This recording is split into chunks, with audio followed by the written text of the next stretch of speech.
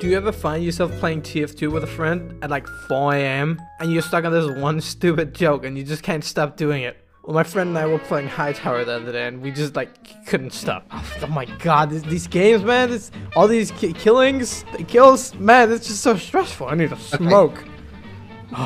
You want to see how it looks like when you golf? Okay. Lining up the shot.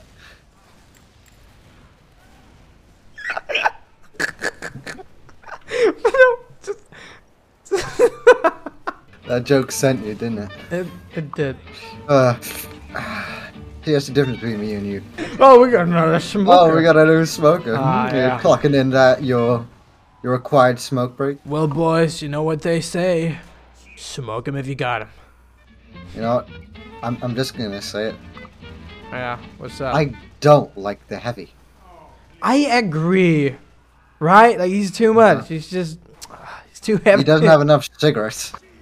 Hey buddy, the alcohol club is two blocks down. Get lost. You say to me? We need to dispose of the butt. Give it me. we need to dispose of the body. Adios, my friend. Drinking on the job again, I see, huh? Didn't even pay your protection fees. You know, you gotta pay your dues, demo. And unfortunately for you, the ground's covered in gasoline. Beautiful weather it. Oh, what's that? A banana?